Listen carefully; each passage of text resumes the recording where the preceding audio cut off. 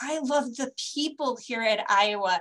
I, I just, I am amazed every day with the awesome, smart, dedicated people um, from our front desk receptionist to our um, back hallway dispensary to our assistants and the colleagues, the faculty that I work with. We are all here for one mission, and that is to train our next generation of dental care providers.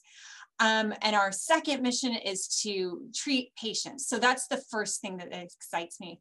I love watching students learn a new skill, getting to see the excitement on dental students' faces when they when they get it, that aha moment that I know what I'm doing. I am a dentist and I am here to treat patients. That is just the coolest thing in the world. Um, and when I go to graduation day and I see those individuals walk across the stage as my student and become my colleague, that is what makes my job awesome. I got like emotional over that.